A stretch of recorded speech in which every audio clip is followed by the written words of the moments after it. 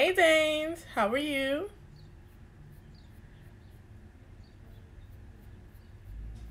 Tosh, I'm so happy it's 9 o'clock in the morning and you guys are up. I know this is not a scheduled session, but I felt the need to check up on my people, see how y'all doing. Let y'all know I'm feeling like very basic mood. Hey, how are you, Juliana? Morning. Yeah, so I'm about to do my makeup, and because I'm in a basic mood, it's gonna be a real basic look. Realize, you know what? We ain't gotta go all fancy every day. We just gotta use this beauty products to enhance our beauty because we ain't going nowhere anyways, right? But today is like the second day I'm about to go outside for work. So put my game face on.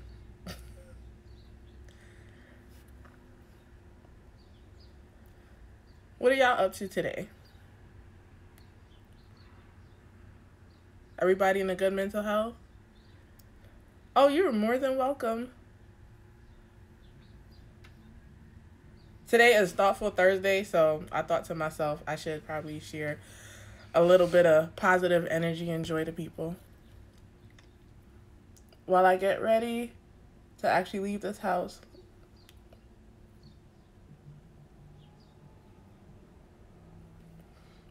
The other thing I gotta say, right? I woke up and I was checking my emails and I feel like we need to have a conversation about this whole essential worker situation. Hey, boo. So I got an email from one of my real estate boards talking about realtors are now considered essential workers. First of all, I think we need to define what is essential to living, right? I always thought realtors were essential workers, and people were like, oh, but you know, it's just houses. Like, but this is a business, and people need a place to live, right? When we think about survival, doesn't it mean like okay you need a roof over your head you need food for sustenance you need health care in, in case you get sick yeah you definitely need teachers for learning factors how, how do you cancel online school Josh?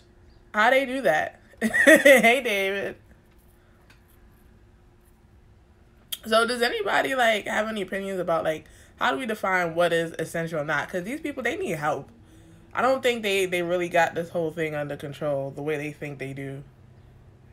And not everybody's logic makes sense either. And just so you know, I'm not gonna stay on here too long because I definitely do have to get to this appointment by like ten o'clock. Oh, you're canceling homeschool? Oh gosh.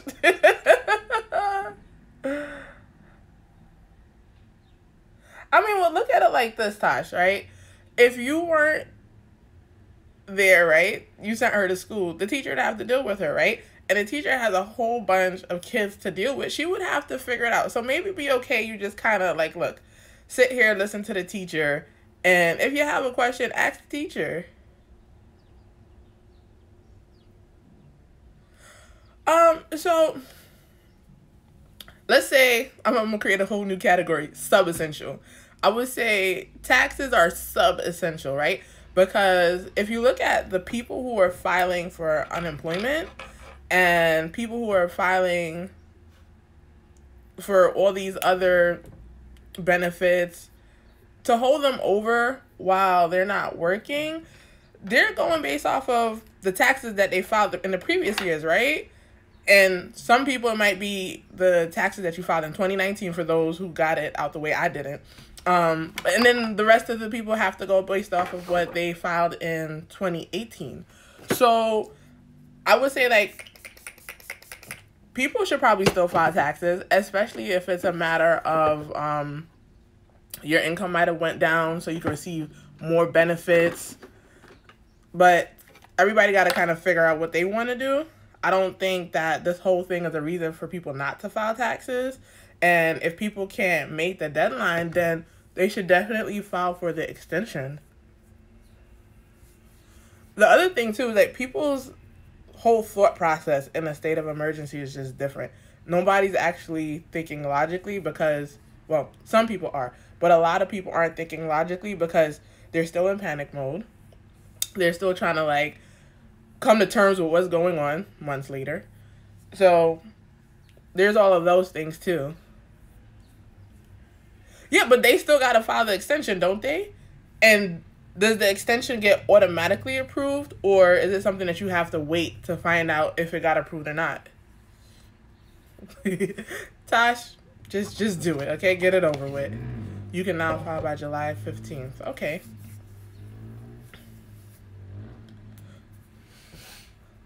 Well, maybe you might have to take the proactive route. Call people and be like, "Hey, how you doing?" And maybe people who would normally meet you around this time, follow up with them. And if they have the mind space to deal with it, then you could tell them, okay, you know, we could do your taxes. I mean, you could pace yourself too, because I know that accounting is one of those things where it could be very overwhelming because everybody's rushing to do it all at once. So take advantage of the fact that people are not bombarding you either.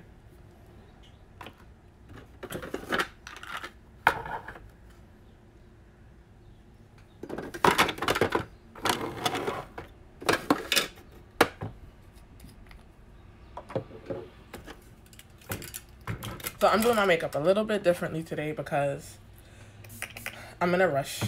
I know I don't look like I'm very calm, but I'm like panicking on the inside about this whole time factor.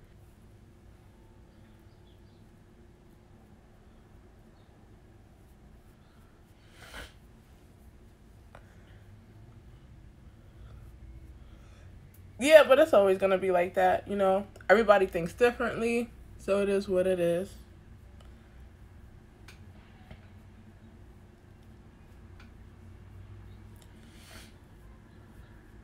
Do you have any input, I guess, while you're on here for people who are thinking about doing a real estate transaction in relation to their taxes? You know what? We should do a tax segment, like things that homeowners need to keep in mind when they own a house like any documents they should retain. See? Work on a session with me. Tap into the creativity too.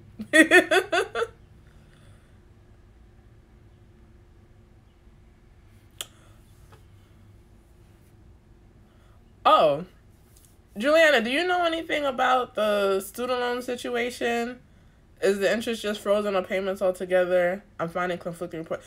Um, Tosh, I think also that with that, it really depends because I've seen people who have been posting that they've gotten deferment notices and stuff like that. And let me tell you, I have government loans too for my student loans, and they've been auto hitting for the past week. I, I haven't gotten that report yet saying, hey, Mindy, your student loans are in deferment. They, they still taking my money. And you know what? It's like, yes, it's great to like not have to pay your student loans right now, but pay it now, pay it later. I feel like you still have to pay it. So if you have it to pay it, then just let it be what it is. Um, at the same time, if you know like you're living off of a certain amount of money in savings and you need that money to stretch, you're gonna have to hit them up and be like, hey, so I don't know what my situation is gonna be like. So can we do something about deferring this later? And I think that's what they're really looking for people to do also to just say, hey, this is my situation. Because if you don't say anything, they don't know what's going on with you. So you have to be proactive for yourself.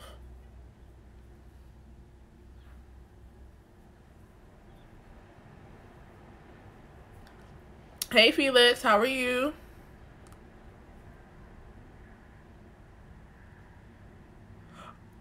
Oh, okay. I, I wouldn't I wouldn't go off of that though. Like I'm still nervous about anything where it's like you don't pay and something good happens. Like I'm I'm as optimistic as I am, I'm kind of cynical when it comes to stuff like that.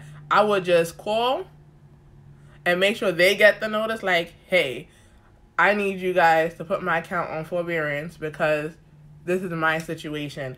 And write down somewhere, either your notepad or your notebook, the date that you make that call, who you spoke to, what the end result is because if next month rolls around and the next month rolls around and that thing hits your credit report, at least you can call them and say, hey, I called on this day and I spoke to this person and they told me everything was going to be fine and you guys are doing otherwise.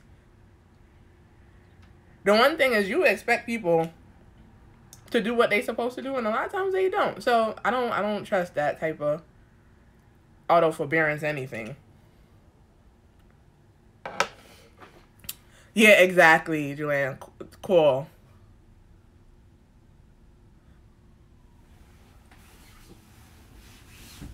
Felix, I don't I don't know nothing about Sally and her cousins, but I'll take your word for it because I've heard people been complaining about them for a long time too.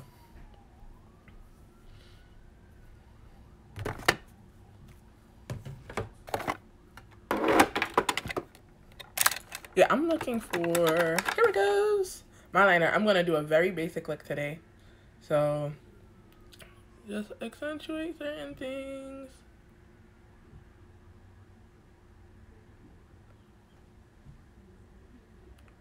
I feel like I'm using this video as a camera, but I need like a real mirror right now.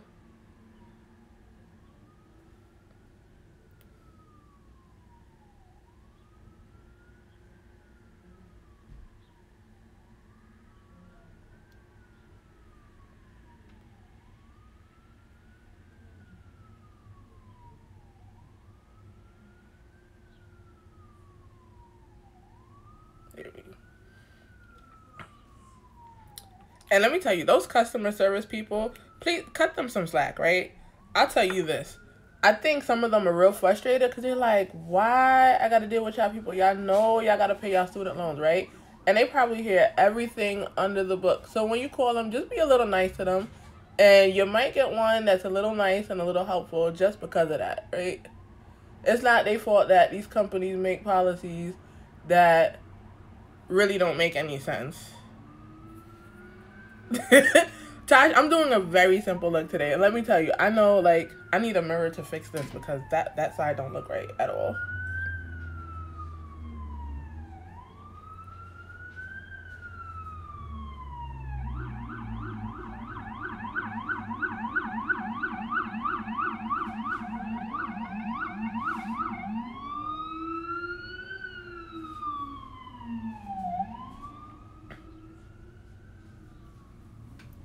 Uh, let me tell you, since I started doing this faces of real estate thing, uh, my project, I should, it's not a thing, it's a project, right? Um, so, the patience that it takes to do some of these looks. I'm telling you, I will record in a day and then not like the look that I came up with. And the videos make this thing look so much easier than they actually are.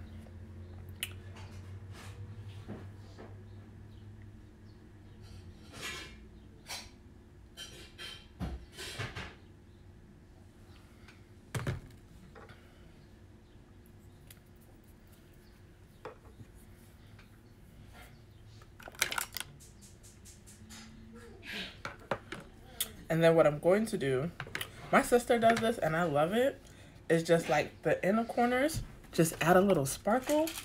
Yes. That little sparkle is like the world. It just makes your face brighten up, right? So use this Urban Decay. No, what's this? The Warrior by Julius. Juvia's. Bear with me, people, right?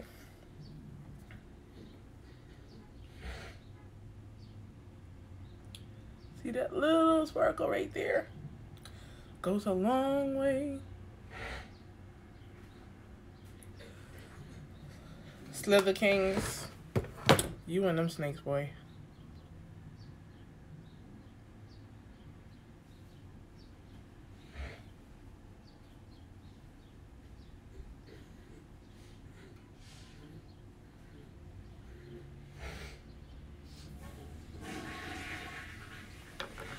Can you see like the little, the gold shimmer?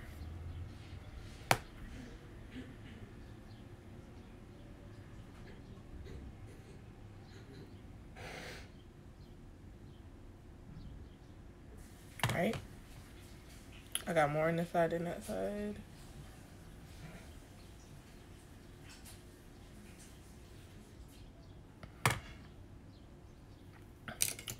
And then I'm gonna add my Urban Decay shimmer to my cheeks.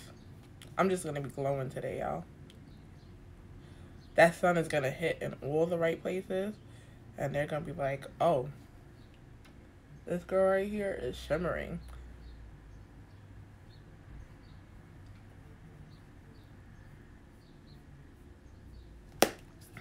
right. And then just mascara this up. This bottle, I'm surprised it's not done yet. This is the Colossal Volume Express by Maybelline. It is awesome.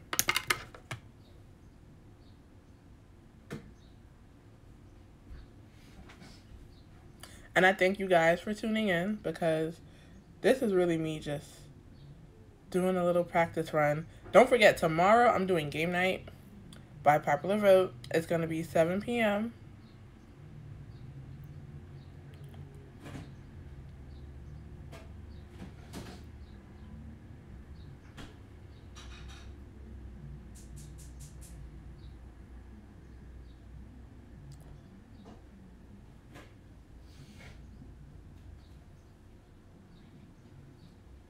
And I do it this way so I can kind of spread this out.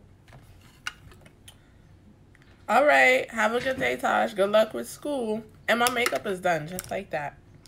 I'm not even going fancy at all. I'll catch you guys later.